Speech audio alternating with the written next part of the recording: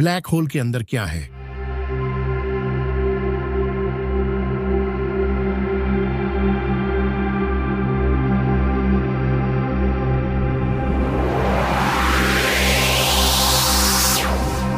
Black hole के अंदर अंधेरा होता है और वहाँ बहुत ज़्यादा गुरुत्वाकर्षण बल होता है।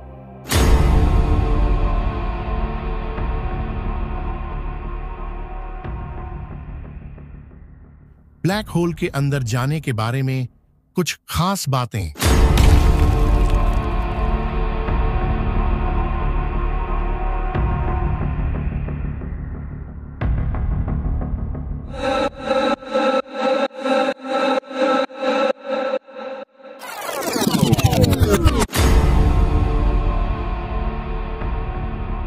ब्लैक होल पदार्थ का एक बहुत सघन पॉकेट होता है।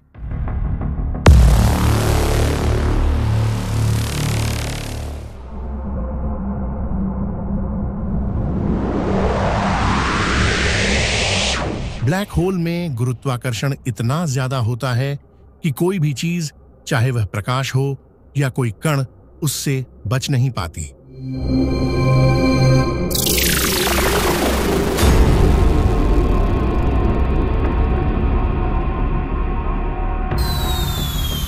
ब्लैक होल में भौतिकी के नियम लागू नहीं होते।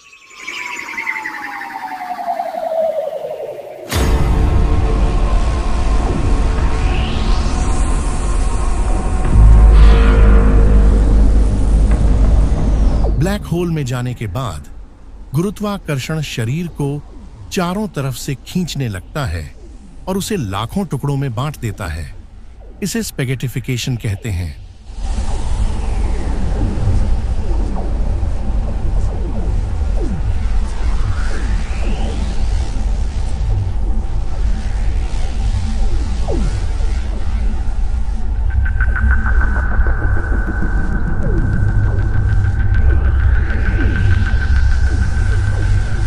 ब्लैक होल की बाउंड्री को इवेंट हॉरिजन कहा जाता है। यह एक ऐसा स्थान होता है जहाँ से प्रकाश भी बाहर नहीं निकल सकता।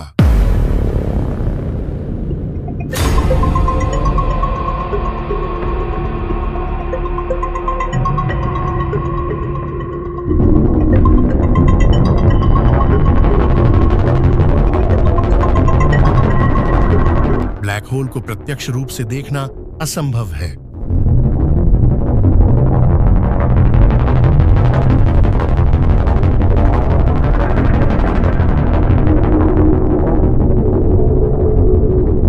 ब्लैक होल का निर्माण किसी विशाल तारे के जीवन के अंत में होता है।